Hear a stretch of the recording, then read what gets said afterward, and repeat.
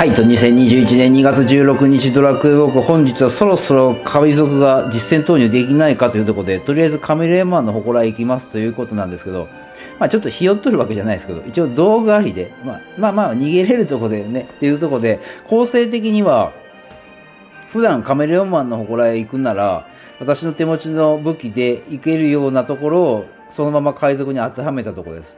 まあ、ベギラゴンをね、海賊が装備した人とかね、そういうとこは抜きにしまして、まあ、とりあえず行ってみましょう。ちなみに、レベル50で行った時は、世界中を手動で使って、なんとか勝てるかどうかぐらい。オーツだとあかんかったですね。回復2枚にしんどき使った。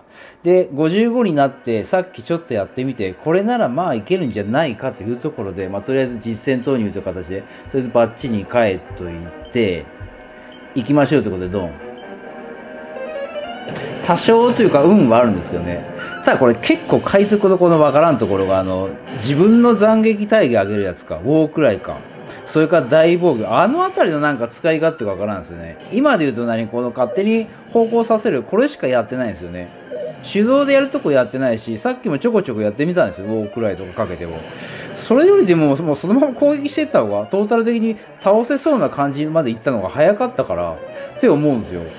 ちょっとっていうか、だいぶなんか使い方は分かってない。使える可能性はあると思うんですけどね、ウォークライとかに関してでも。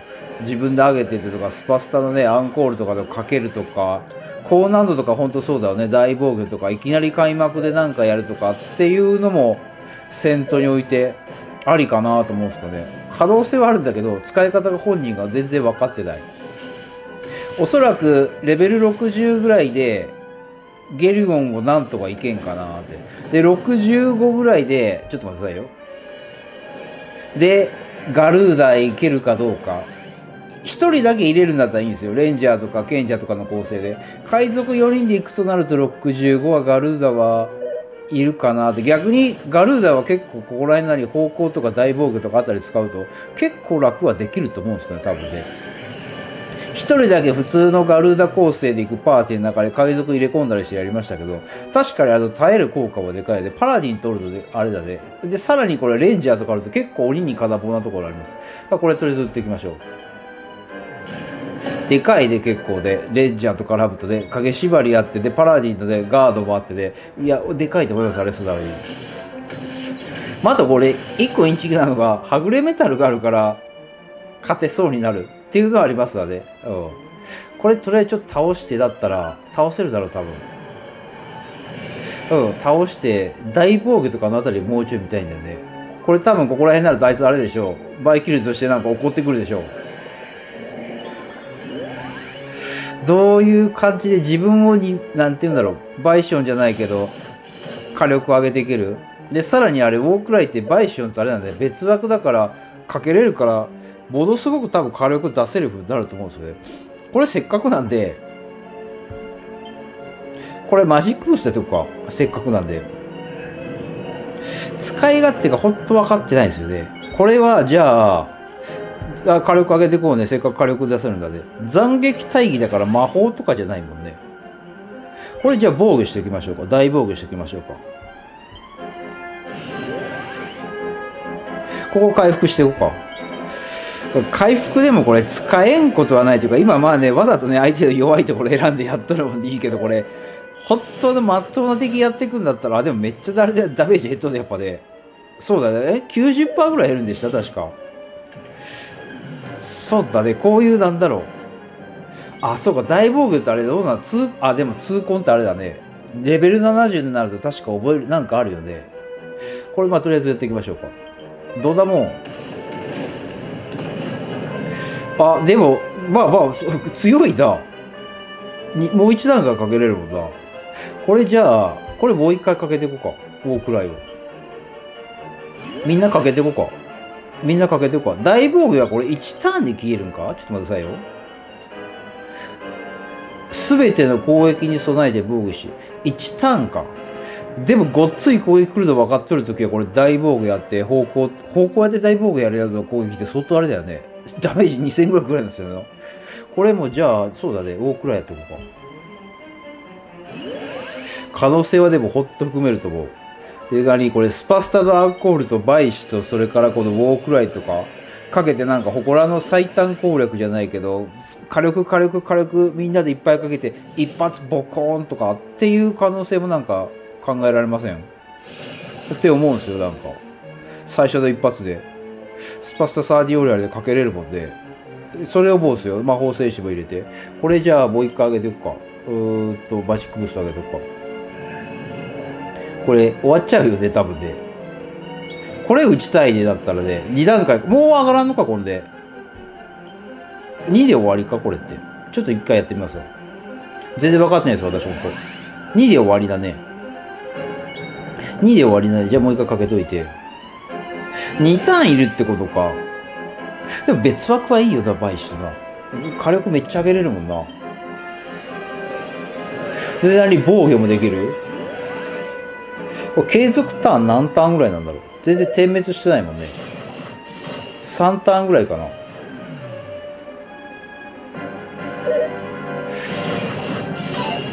もうちょいやっぱレベルちょっとあれだねちょっとこれ危なっかしいで。相手のバイシ切れかかっとるで。これなんかじゃあこれ大防御やっていくか。これ大防御やっていこう。大防御やって倒れそうだもんでこれでそろそろ打ってみますか。かこの人じゃないね。この人はこの人も大防御しとくわ。方向今かけれるところ？方向かけれるね。かけてよかったねさっき方向で。ああそうだ。結構これ見るとこ多いね。相手の3段階とかあれだね。まあ別に3段階になってなくてもあれですけど。そここう結構あれだね。目いるね。ちょっとこれじゃあ売ってみましょうか。4000円ぐらい出すんかな。行きましょうドン。外れんだよ。あれ鉄鉱山やった。あちょっと待てよ。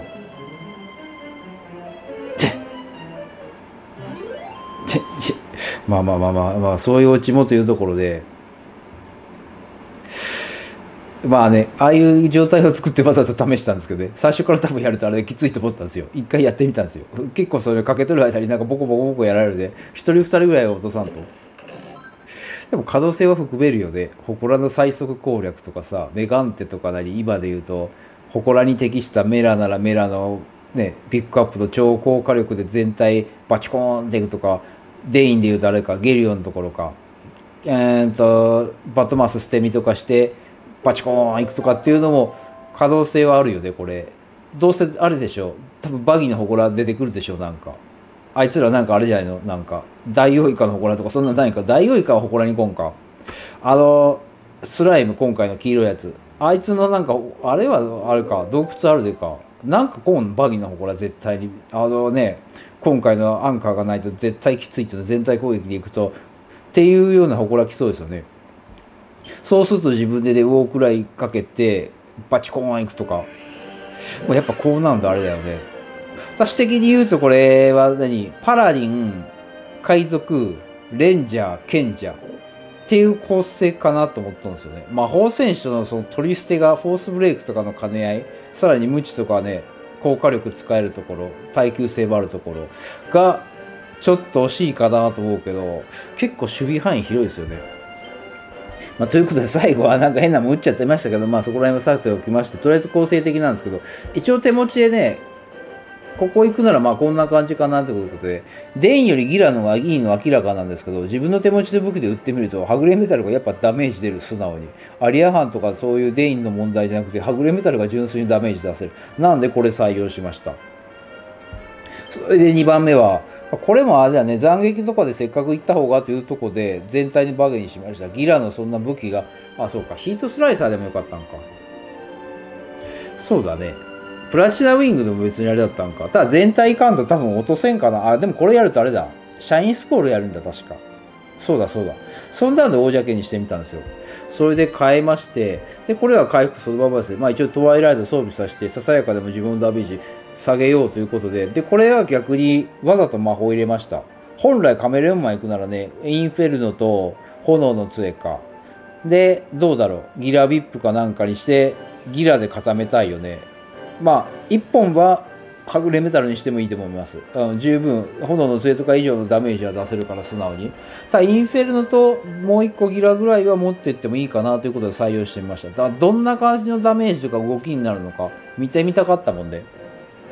レベル上げに関しては海賊に魔法武器持たせてもめっちゃダメージ下がるってわけじゃない。下がりますけどパラディンとかよりは周回で使える。まだまだ仕事できる。うん。十分使える分使ってますのでそれで心構成なんですけど。こんな感じしてみました。ゴーレム入れてもうちょいコスト余っとで入れたいんですけどこれデインだからってねスイカ入れるとあの荷重やっちゃうんですよ。そんなで下げたんですよ。でこれ一番いいのはこの何色が黄色が使えるでいいんですよねこれだからレンジャーとか他の何メガモンとかで他の構成とかにしたりするんですよ。無知持たしてナイトメアとかで。あれの時で黄色の何魔法戦士の今まで使ってたね、攻撃魔力合算値のやつとかの強いやつを入れていけるで、それがでかいんですよね、適正枠流。結構バランスいいと思う。赤が使いたかったら二次枠入れないですもんね。赤2つ使いたいっていう可能性にはならんよね。で、で青が2つあるからで、で、素早さも出せるし、結構めんどくさい存在だと思う。まあ、こんな感じじゃないかな。とりあえず300前半ぐらいか、コストでは。もうちょい行くと、悪魔の騎士とか入れてくれるかな。ゴーレムが外せるぐらいになると、耐久力とか、HP ももうちょい出せるかなと思うんですね。600半ばですもんね。それで2番目の海賊ですけど、まあみんな海賊ですけど、まあせっかくなんでマリンバブル使いました。これ、性能高いよ。素直に思います、これ。だってこれ、このコストで力88あって、で、斬撃大義3%に、バギ特技7%で別枠でかかるから実質10%以上あるから、でかいよね。火力だけ出すってことに考えたら、コスト帯に考えると費用対効果が高いですね。コスト帯火力が高いですね、素直にで。まあ、耐性が毒だけだけど、まあな、なんかあったらね、なんかキャドとかイオとか、まあそこまでいったら言い過ぎか。でも結構あれだと思う。で、ドルマもあるから、これ絶対なんかあれだよね。あれに合わせたんだろうね、武器にね。ちょうど育成用じゃないけど。でもこれ素直に使えますよ、本当に。覚えます。ということでこんな感じにしてみました。まあ一応バギーなんでゲリオン入れようかなというとこで、レベルがね、50ぐらいだとね、雲の巨人とかあの辺り入れるのはちょっときつかったんですよね。で、もうちょい上がってって、なんとかあれか、ゲリオンランプの場所に、まあ無理やり、ランプはもう無理やり突っ込みました。うん。もうちょい他のなんかバランスよくって思いましたけど、そうするとコスト足りなくなった頃、マリンバーブルで埋めて、じゃあもうちょい埋めたいなとしたらキングレオにしたんですかね。こんな感じで。まあ別に100体制ではないですけど、まあキングレオもね、費用対効果じゃないけど、コスト対パフォーマンスが高いということで、それ3番目の賢者。賢者じゃないね。海賊だね。回復だね。こんな感じなんとかあれだね。悪魔神官を表像入れれるぐらいになると、どうだろう。回復170ぐらいいけんかな変わらんかなパーセンあれだで。体力面をもうちょい出したいですよね。回復量が別になり、これ回復で使っていくってわけじゃなくて、とりあえず4人海賊してどんな動きになっていくのか、何ができて何ができないのかっていうのをね、自分で知りたかったのでやってみましたけど、そこそこは使えるけど、本当に強い相手には、まずやめた方がいいですね。パラディンの方が素直にいいと思う。うん、耐久面という意味で。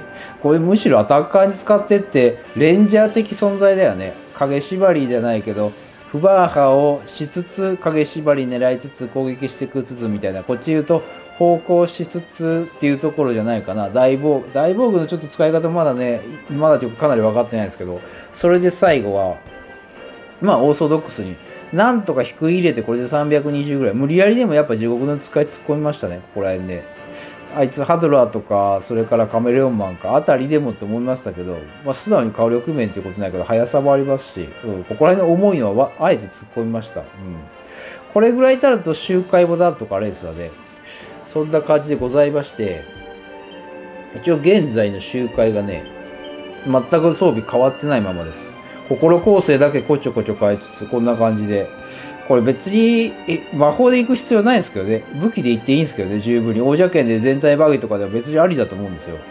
まあ、だけど、どんな動きになって、どれぐらい出せるかなーっていうのを目安として見たかったもんね。ベターはどの職業に入れてもある程度のダメージ出せるから、優秀だよね、周回に関してはね。ラーミンは当然あれだね。いいよ聞かんやつにはあかんすけど、でもそこそこはいけます、これで。そんなには悪くない。ちょっと最後に適当に周回して終わりますか？うん、まあ、こんな感じの動きしてますよということで。3発ぐらいになるかな、大体。えー、いけそう。2発いけそうかっていうところが見えとるところかな。多分手持ちの武器構成とかうまく変えればもっといけると思う。ただ変えるのがめんどくさいもんで、これで言ってますけど、うん、こんな感じで。戦闘のはぐれメタルがあんまり早く動かん方がいいんですよね。MP が枯れるから。魔法陣が動いてってその真ん中に入り込むような感じの方がなんとかいいかなって思ったんですよ。まあ、定点周回はきついで、えー、あの壺がないとで、いっぱいないとあらひゃはぐれメタル使ったらとこやるやつだね。ベタもそんな燃費いいわけじゃないもんで回復がないもんでイオナズンはまあ悪くないですけどただこれでいけるほどってことはね限りなく2発いけそうな、まあ3発確定みたいな感じですね。ただこれでも経験値は高いし、レベルは上がっていくし、まあまあまあまあ問題ないかなって。無理やりなんかね、とつった武器とかある人だったら、もう多分2発とかいけるんじゃないですかね、これぐらいだと。私で言うとこれ全部無凸なんですけど、50、60ぐらいになったらなんとかあれかな、見えんかな、心構成的に。どうしてもベタン絡んどる以上ね、どんな強い武器いっても、一発っていうのはまず難しいから、なんとか確定2発ってとこですよね。先頭のはぐれメタルがもうちょっとあれだね、火力出せて、動かせるようになってくると、ある程度あれかな、2発ぐらいが見えてくるかな。まあ多分70いったらかなり強いと思いますよ、素直に。火力面に関しても、耐久面に関しても。あの、熟練度とか見とっても、ん ?60 ぐらいからか。上がってくのがなんか耐性面のやつが多いんですよね。結構そういうのに強いと思う。で、あの70のなんだろうあの会心のやつ、あれがデラキになるんですよね。ホットだからあれだろうね、高難度用とか強敵用とかだろうね。どんな後構成にしていくかですよね。まあ、とまあそんな感じで本日は海賊レベル55を実戦投入できんかということで、まあね、あまり強くない部類のカメレオンマンの方試していましたけど、ヒヤヒヤってやヒヤヒヤですよ、あれ。そんなに安定ってことじゃないですよ。あの、手動でやらなあかんとかで、あの、世界中使わなあかんシーンとかも出てくる。はさっきでは割とうまくいった方。さっきはね、3回ぐらいやったんかな。うん、ちょっとあれかな、手動とか道具入れたいかなと思って、だからひよっては道具入れたんですよ。まあでも可能性は感じますね、本当ね、素直にで。実際これでも言うと、ああ、ちょっと余談ついでにもう一個戻しておきますか。大王イカに関しても、これで別にいけますからね。まあ、神田トマホーク持っとる、あれがインチキってなりますからね。あれがなかったら多分きついと思う。回復1枚じゃ。こんな横着のパーティー組んどったらあかんと思う。これがあるもんで、なんとか攻撃下げつつ、方向狙いつつっていうとこで、で、そこそこ火力も出せるんですよね。まあ、雷神の一突もありますけど、こんな感じでいっとるんですよ。そこそこ出せます。これもまあまあマリンブラバブル使ってみたんですよ。そこそこ無知持たしても。まあもちろんね、本家の魔法戦士とかレンジャーにはかなわんですけど、55でそれだけ出せるんだったら、で色も割と使いやすいんですよね。再三言っとるより黄色が入れれるもんで、これがでかいんですよね。魔法戦士のね、攻撃魔力発散値の無知系が利用できるもんで、まあ、回復は変わらんですけど、まあ、これはあれだね。神田トマホク用だから、ジバリア打ちたくないもんでね、できるだけ火力に乗せてジバリア入れるようにしてますけど。と、まあそんな感じ本日はカメレオンも含めて海賊レベル55でこんな感じで遊んでみましたけど、かなり可能性は感じてると思います。ただ、私自身、非常に使い方がよく分かってない。方向しか本当使ってなくて、大防御とかウォーククライとか使いこなせてないですね。まあもっとね、60ぐらいまでいろいろあと遊んでみたいですね。長いね。長いね。長いけどこれほっとあげる気になります。あげたくなるなんかもう徹夜してでもね、眠いもんね、毎日ね。眠い、ほんと睡眠時間ないですよ。数時間ですよ。まあそんな感じで海賊のレベル上げ、もうコツコツと。なんとかあれだね、高難度ぐらいまでにデビューさせたいね、レベル70の海海賊をね、高難度かごっつい強敵かなんかね、あのハドラーのね、一体攻撃じゃないけど、そこら辺に耐えれるようなところで、ないと逆に辛いっていう風になると、ちょっとあれだね、バランス的に崩れるからどうやってくるかなとかですね。海賊ないとクリアできんとかね、まず無理ゲーみたいな高難度作っちゃうと、ね、家もやらんとかね、そっぽ向かれるとかっていうなんかそこら辺のバランスがどうかなっていうのは思ってます。そこまでやっちゃうと逆に。海賊ありきみたいになると、パラディンだとそうですかね、パラディンありきみたいになってるし、まあもちろんレンジャーはね、影縛りありきみたいになってますけど、まあ結構、淡々と言ってますけど、ワクワクが止まらん感じですね。まあ、スパスタさんとはちょっと違うかなというところで。はい、ということで、そんな感じ。終わり